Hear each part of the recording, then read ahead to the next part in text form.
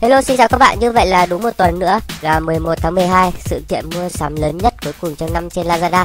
Và rất nhiều bạn hỏi mình cái mã voucher bí mật là gì thì trong video này mình sẽ bật mí cho các bạn cái mã giảm giá đấy sẽ giảm khoảng à, 10% 12% hay 15% gì đấy. Và áp được từ 0 giờ ngày 11 tháng 12 nhá. Nên anh em lưu ý hôm nay là mùng 4 tháng 12 rồi đúng một tuần nữa 7 ngày nữa. Hiện tại thì Lazada đã hé lộ chữ M ba ký tự trước là R E B. Và những ngày sau thì mỗi ngày sẽ có một ký tự tiếp theo.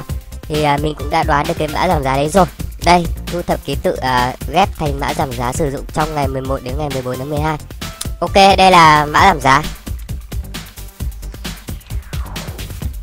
12 và December 11 Đây là ba mã giảm giá Mình dự đoán. Và 99,99% sẽ đúng. Viết ngược của December nhá Tiếng Anh có nghĩa là tháng 12 ấy. Và một là ngày 12 thì cũng sẽ viết ngược sẽ là 21 thứ hai là nếu mà không viết ngược thì ờ, sẽ giữ nguyên là số 12 và có thể là mã giảm giá đó là vào ngày 11 chẳng hạn. Thì là December 11 đó thì đây là ba mã giảm giá nhá. Một trong ba mã này thôi chắc chắn luôn.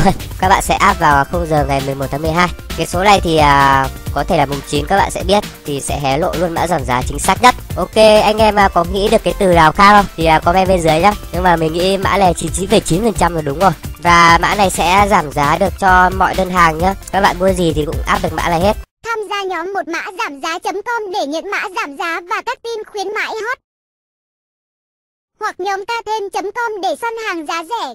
Link nhóm ở mô tả hoặc trong comment.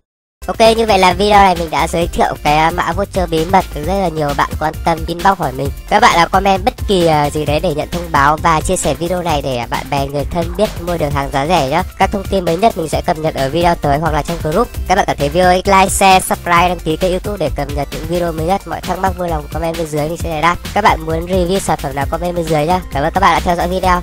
Bye bye!